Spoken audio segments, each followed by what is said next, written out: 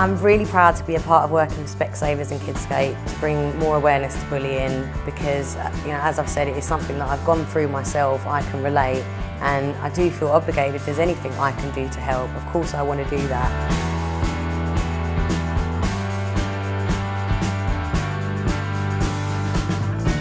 And I was just really intrigued because when I think back to how many years ago when I was being bullied, there was never anything like this around. And sitting today and actually being a part of the course, the way that it was explained to the kids, you know, how to handle situations, the psychology behind it, and there were just certain techniques uh, that were being spoken about today and talked about. And I thought, you know what, if I knew that 20 years ago, it would have made a massive difference and I could have handled things in a very different way knowing the statistics of afterwards of how many kids it's actually helped, like a 95% rate difference is just incredible.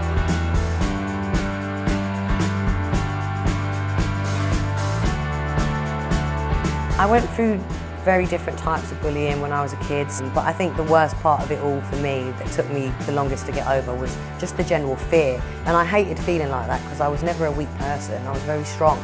Um, and I just felt like eventually it began really breaking me down. My one piece of advice, and I think most important piece of advice that I would give to kids out there being bullied is don't be afraid to speak to someone, talk to someone, talk to an adult, talk to a teacher, talk to a family member, talk to a friend, because this can be changed, this can be helped, this situation you're in, but you've got to speak up and you have to reach out and tell someone. And don't feel ashamed. Remember, it's not you that's the problem, it's the bully, so don't ever forget that.